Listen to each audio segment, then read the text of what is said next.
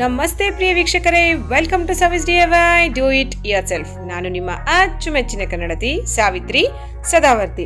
ಇವತ್ತು ನಾನು ನಿಮಗೆ ಮಕ್ಕಳಿಗೆ ತುಂಬ ಇಷ್ಟವಾಗುವಂತಹ ಕಿಡ್ಸ್ ಸ್ಯಾಂಡ್ವಿಚ್ ಅದರ ಜೊತೆಗೆ ಮಿಂಟ್ ಚಟ್ನಿ ಕೂಡ ತೋರಿಸ್ತಾ ಇದ್ದೀನಿ. ಅದನ್ನ ಈ ಸ್ಯಾಂಡ್ವಿಚ್ ಅಲ್ಲಿ ನಾನು ಬಳಸಿರೋದ್ರಿಂದ ನಿಮಗೆ ಅದು ಪ್ರೊಸೀಜರ್ ಕೂಡ ಹೇಳ್ತೀನಿ. ಸೊ ಮಿಂಟ್ ಚಟ್ನಿ ಮಾಡಲಿಕ್ಕೆ ಬೇಕಾಗಿರೋದು ಮೊದಲಿಗೆ ಸ್ವಲ್ಪ ಪುದೀನ, ಹಾಗೆ ಒಂದು ಸ್ವಲ್ಪ ಜೀರಿಗೆ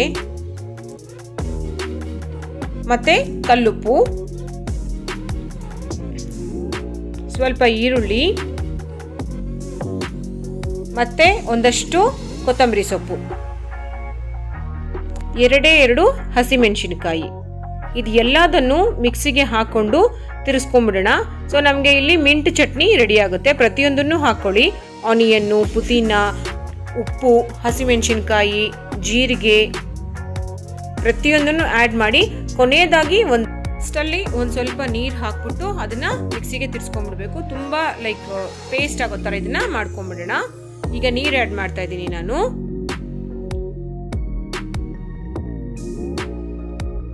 ಈಗ ಇದನ್ನ ಮಿಕ್ಸಿಗೆ ತಿರ್ಸ್ಕೊಂಡ್ಬಿಟ್ಟು ಪೇಸ್ಟ್ ಮಾಡ್ಕೊಂಬಿಡೋಣ.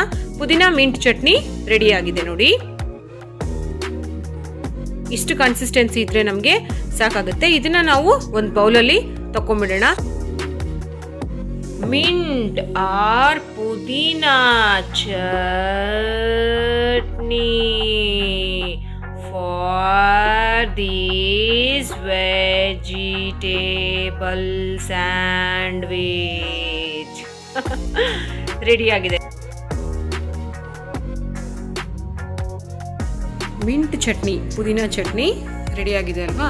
ಸೊ ಈಗ ಇದನ್ನು ತೊಗೊಂಡ್ಬಿಟ್ಟು ನಾವು ಮಕ್ಕಳಿಗೆ ಇಷ್ಟವಾಗುವಂಥ ಸ್ಯಾಂಡ್ವಿಚ್ ಏನು ಮಾಡಿ ಹೇಗೆ ಮಾಡೋದು ಮತ್ತು ಸಾಮಾನುಗಳು. ಸ್ವಲ್ಪ ಕ್ಯಾರೆಟ್ ತೊಗೊಂಡಿದ್ದೀನಿ. ಹಾಗೆ ಒಂದಷ್ಟು ಕುಂಬರ್ ಮತ್ತು ಟೊಮ್ಯಾಟೊ ಸ್ಲೈಸಸ್. ಹಾಗೆ ಈರುಳ್ಳಿ ಎಲ್ಲದನ್ನು ರೌಂಡಾಗಿ ಕಟ್ ಮಾಡಿ ಇಟ್ಕೊಂಡಿರುವಂಥದ್ದು. ಇದಕ್ಕೆ ಉಪ್ಪು.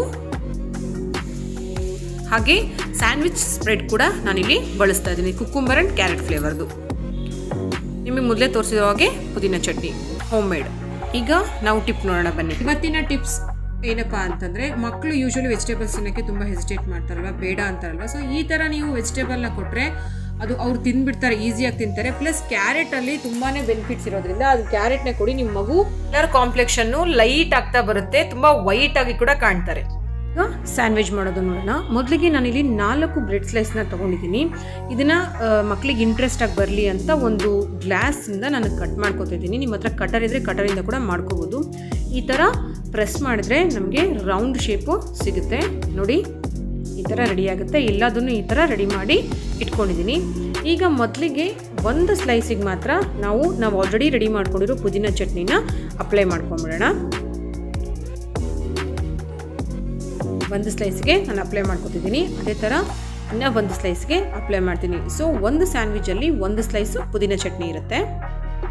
ಇದೇ ಥರ ಟೂ ಸ್ಲೈಸ್ ಹಚ್ಚ ಹಚ್ಚಿದ್ದೀನಿ ಹಾಗೆ ಇಲ್ಲಿ ನಾನು ಸ್ಪ್ರೆಡ್ ನಿಮಗೆ ತೋರಿಸಿದ್ನಲ್ವಾ? ಅದನ್ನು ಕೂಡ ಮತ್ತೊಂದು ಸ್ಲೈಸ್ಗೆ ನಾನು ಇದನ್ನು ನಾನು ಅಪ್ಲೈ ಮಾಡ್ತಾ ಇದ್ದೀನಿ. ನೋಡಿ, ಈ ಥರ ಇನ್ನೊಂದು ಕಡೆ ಕೂಡ ಇದನ್ನು ಅಪ್ಲೈ ಮಾಡ್ಕೊಂಬಿಡಿ.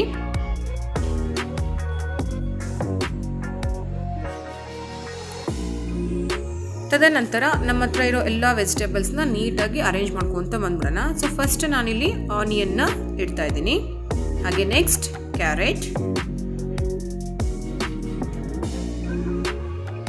ನೆಕ್ಸ್ಟ್ ಕುಕುಂಬರ್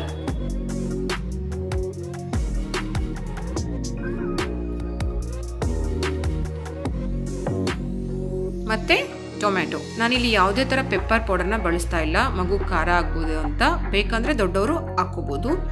ಸೊ ಸಾಲ್ಟ್ ಹಾಕ್ತಾ ಇದ್ದೀನಿ. ಎರಡೂ ಕಡೆ ಎಷ್ಟು ಬೇಕಷ್ಟು ಮಾತ್ರ ಹಾಕೊಳ್ಳಿ. ಈಗ ಇದಕ್ಕೆ ನಾವು ಆಲ್ರೆಡಿ ಹಚ್ಕೊಂಡಿರೋ ಪುದೀನ ಸ್ಲೈಸ್ನ ರಿವರ್ಸ್ ಆಗಿ ಇಟ್ಬಿಡೋಣ. ಎರಡು, ನಮಗೀಗ ರೆಡಿ ಆಗಿದೆ ಹೀಗೆ ಕೊಟ್ಟರೆ ಮಕ್ಕಳು ತಿನ್ನಲ್ಲ ಅಲ್ವಾ? ಸೊ ಇದಕ್ಕೆ ಸ್ವಲ್ಪ ಏನಾದರೂ ಡೆಕೋರೇಟ್ ಮಾಡೋಣ ಅಂತ ನಾನು ಈ ಥರ ಇದಕ್ಕೆ ಮೇಲ್ಗಡೆ ಡೆಕೋರೇಟ್ ಮಾಡಿದ್ದೀನಿ. ಕ್ಯುಕುಂಬರ್ ಟೊಮ್ಯಾಟೊ ಕ್ಯಾರೆಟ್ ಇಟ್ಬಿಟ್ಟು ಮಕ್ಕಳು ನೋಡಿದ ತಕ್ಷಣ, ವಾವ್, ಮಮ್ಮಿ ನಂಗೆ ಬೇಕು ಅಂತ ಕೇಳಿ ತಿನ್ನೋ ಥರ ಇದನ್ನು ರೆಡಿ ಮಾಡಿದ್ದೀನಿ. ಐ ಥಿಂಕ್ ನಿಮಗೂ ಇಷ್ಟ ಆಗಿದೆ ಅಂತ ಭಾವಿಸ್ತೀನಿ. Thank you so much